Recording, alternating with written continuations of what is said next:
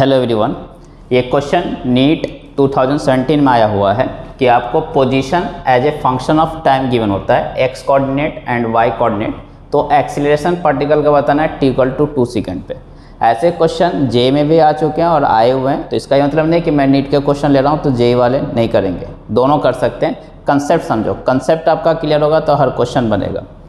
तो ध्यान से समझो इस क्वेश्चन को कैसे करेंगे। जो कन्वेंशनल मेथड आपको मालूम है कि position as a function of time given है तो एक बार डिफ्रेंशिएट करेंगे तो वेलोसिटी आएगा, फिर दो बार डिफ्रेंशिएट करेंगे तो एक्सीलरेशन आएगा और इस तरीके से कर सकते हैं राइट लेकिन इसको अवॉइड करना डायरेक्ट कैसे करेंगे? ध्यान से देखो, आपको एक्स डायरेक्शन का गिवन है as a function of time तो X equal to five T minus two T square था। इसको मैंने कंपेयर किया S is equal to U T plus half A T square से। क्यों? क्योंकि यहाँ टी स्क्वायर था मैक्सिमम टाइम की पावर तो राइट तो यहाँ से क्या हो गया? Half as equal to minus two तो यहाँ से डायरेक्ट एक्सलेशन आ गया आपका minus four so your option will be C right ध्यान रहे डायरेक्ट क्यों कर दिया? क्योंकि y जो था, उसमें t की मैक्सिमम पावर वन ही थी, क्योंकि ज़ीरो इंटू टी स्क्वायर हो जाएगा राइट अगर कुछ नहीं है तो तो यहाँ पे एक्सलेशन y डायरेक्शन का ज़ीरो है, x डायरेक्शन का माइनस फोर था, इसलिए हो गया। अगर इसका भी कुछ होता तो you know total net acceleration क्या जाता? Root under of A X का स्क्वायर प्लस ए वाई का स्क्वायर तो आप इस तरीके से बिल्कुल कर सकते हैं।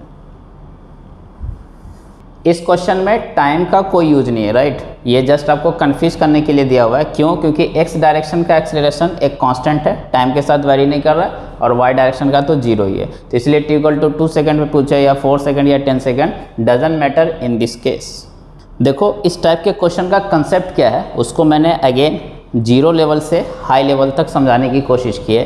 कि अगर मान लीजिए कि आपका जो पोजीशन है, वो as a function of time नहीं है कांस्टेंट है तो इस केस में तो एक्सीलरेशन ज़ीरो हो जाएगा, क्योंकि दो बार डिफ्रेंशिएट करेंगे राइट तो ज़ीरो हो जाएगा। केस टू अगर सिर्फ़ टी की पावर वन है मैक्सिमम अगर टी की पावर वन है तो उस केस में भी आपका एक्सीलरेशन डायरेक्ट आप ज़ीरो बोल सकते हो। बट अगर मैक्सिमम टी की पावर टू है, जो कि यहाँ पे अपने क्वेश्चन में था तो मैक्सिमम अगर टी की पावर टू तक जा रहा है तो टी की पावर टू का जो कॉफिशियंट होगा, यहाँ पे ए एक्स में डायरेक्ट लिख सकता हूँ कि जो भी कॉफिशेंट होगा उसका आपको टू टाइम्स करना है। क्यों? क्योंकि आपको मालूम है कि एस इज़ इक्वल टू क्या होता है? U t plus half a t square तो यू नो टी स्क्वायर का कॉफिशेंट क्या? हाफ़ ए तो इसलिए हाफ़ ए यहाँ पे जेड के बराबर है। तो एक्सलेशन क्या हो जाएगा? Two times of Z X direction का। वैसे ही वाई डायरेक्शन का क्या हो जाएगा? A Y two times of A तो अगर टी स्क्वायर तक मैक्सिमम पावर जा रही है। टी की मैक्सिमम पावर टू तक है। तो टी एस पर का जो कॉफिशेंट होगा, उसका टू टाइम्स कर देंगे तो आपको डायरेक्ट एक्सीलरेशन मिलेगा। और एक्स और वाई डायरेक्शन का आ गया तो रूट अंडर करके आप निकाल लेंगे तो नेट एक्सीलरेशन आएगा। जैसे अगर यहाँ पे ध्यान से देखो तो हाईएस्ट पावर थ्री है। तो फिर इस केस में क्या करना आपको? तो यू नो एक्सीलरेशन डायरेक्ट भी लिख सकते हैं कि ये तो एम रहेगा ही, इसको एक बार मल्टीप्लाई करना है। तो थ्री और फिर इसका एक पावर कम करना है तो थ्री माइनस वन कितना हो गया? टू तो ये आ जाएगा। और t की दो पावर होता है तो t का कोई पावर नहीं आ रहा है एक्सलेशन में राइट कांस्टेंट हो जा रहा है। यहाँ पे दो पावर कम कर दोगे तो एक t बच जाएगा तो ये t रहेगा। और इसका आपको अभी मालूम है कि n तो रहेगा ही, और ये 2 फिर 2 माइनस वन तो वन ही होता है राइट और टी स्क्वायर पूरा निकल जाएगा, यहाँ पे कुछ नहीं रहेगा। तो ये आ गया आपको एक्सीलरेशन यहाँ पे इस केस में जब मैक्सिमम पावर थ्री होगी तो आपका acceleration as a function of time आएगा। इसलिए अगर टाइम गिवन होगा तो वो टाइम पुट कर करके फिर एक्सीलरेशन निकाल सकते हैं। फॉर एग्ज़ाम्पल जैसे इस केस में, अगर आप ध्यान से देखो position as a function of time given है तो डायरेक्ट एक्सीलरेशन अगर लिखना है तो फोर ये वाला जो है वो थ्री और फिर थ्री माइनस वन राइट तो टू और टी की पावर वन हो जाएगा। दो पावर कम कर देना है।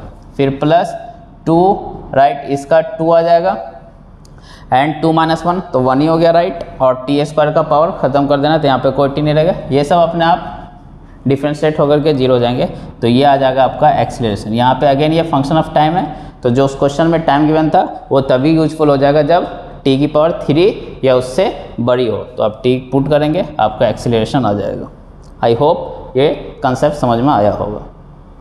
एक और एग्जांपल लिया है कि अगर x as a function of time given है तो ए एक्स कैसे लिखेंगे डायरेक्ट ध्यान से देखो, ये कॉफिशियंट रहेंगे ही, यहाँ फोर है तो फोर एक बार लिखना और एक बार इससे एक कम तो बस दो ही बार ये काम करना आपको, क्योंकि दो बार डिफ्रेंशिएट करेंगे तो जो पावर होगा वो और उससे एक कम, और टी पे पावर डायरेक्ट दो कम करके लिखना है तो फोर था तो दो पावर कम करके देंगे तो टू हो जाएगा। फिर प्लस ये फाइव ये ध्यान से देखो, ये थ्री लिखूँगा और फिर इससे कम तो टू टी पे दो पावर कम कर देंगे तो सिर्फ़ क्या बचेगा? टी फिर प्लस ये सिक्स इंटू टू ये वाला, और टू माइनस वन तो वन ही हो गया राइट और दो पावर कम कर देंगे तो टी का कुछ नहीं बचेगा तो यहाँ पे टी रहेगा नहीं राइट इसलिए टी की power zero you can say और ये सब तो अगेन निकल ही जाएँगे, क्योंकि टी ख़त्म हो जाएगा. तो ये आपका आ गया एक्सीलरेशन डायरेक्ट ऐसे आप कर सकते हैं. As a function of time है